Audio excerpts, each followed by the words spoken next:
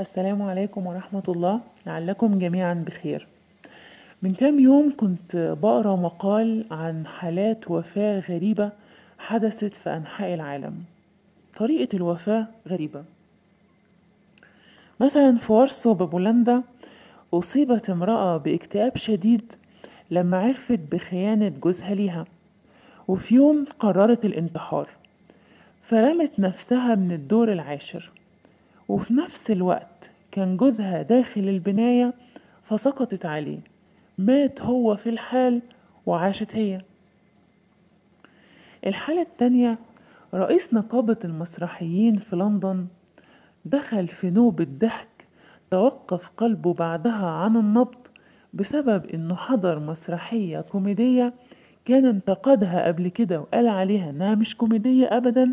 ولكنه المرة دي المرة دي دخل علشان يشوفها في السر. حالة تالتة في واحد من الحقول المصرية تناولت واحدة من العاملات مية لكنها أصيبت بالرعب لما لاحظت وجود بعض النمل في المية فجريت على البيت وشربت مبيد حشري فحدث لها تشنجات وماتت. حالة رابعة عامل كان بيشتغل في مصنع للفطائر في ولاية بنسلفانيا غرق بعد ما سقط في قدر مليء بالشوكولاتة. حالة خمسة راجل عجوز كان بيتفسح مع الكلب بتاعه وأصيب بنوبة قلبية حادة.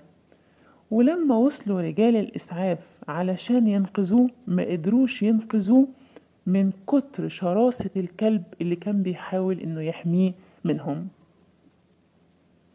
حالة سادسة لاعب الجولف الأمريكي سكاليون كان دايما بيتصنع الغضب والنرفزة قدام المشاهدين. وفي واحدة من المرات تعمد ضرب عصا الجولف بالأرض فانفصل الرأس الحديدي وارتد عليه حتى يقطع رقبته. حالة سبعة البابا بولس الثاني كان معروف جدا بنهمه للطعام إلا إنه اتوفى بسبب بذرة بطيخ صغيرة دخلت في رئته. الحالات الجاية دي بقى الأغرب على الإطلاق. موت السيلفي. في السنوات الأخيرة أصبح السيلفي من المسببات الحديثة للموت. في آخر الإحصائيات عن حوادث الموت المتعلقة بالسيلفي كشفت أن معدلات الموت بسبب السيلفي أعلى من الموت بأسباب أخرى كانت شائعة زي هجوم أسماك القرش أو السقوط أثناء تسلق الجبال أو حتى أثناء رياضة التزلج على الجليد. تبين وقوع 259 حالة وفاة عالميا من عام 2011 وحتى عام 2017 بمتوسط حوالي 43 حالة وفاة سنويا بسبب السيلفي.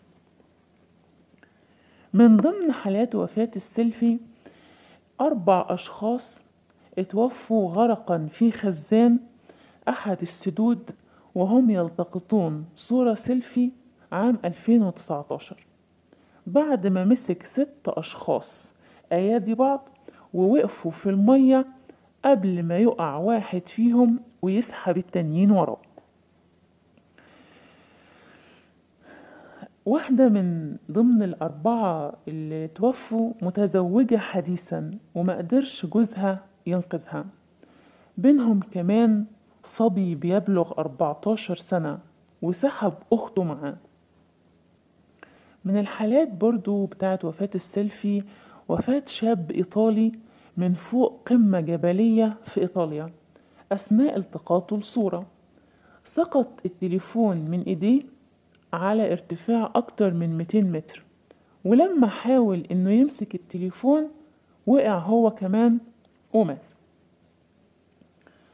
قتل كمان ثلاث أشخاص. في الهند كانوا بيلتقطوا صور سيلفي على خط السكة الحديد. ولما شافوا قطار قادم نطوا للجهة الأخرى علشان يصدمهم قطار تاني وتوفوا. السلطات الهندية حظرت السيلفي في بعض الأماكن وكوريا الجنوبية حظرت عصا السيلفي في أماكن معينة وإسبانيا فرضت غرامات كبيرة على ملتقط السيلفي في مهرجان الثيران بأسبانيا. والأمن في روسيا كان بيوزع منشورات على المواطنين وطلاب المدارس والجامعات لتوعيتهم بخطورة تلك الظاهرة.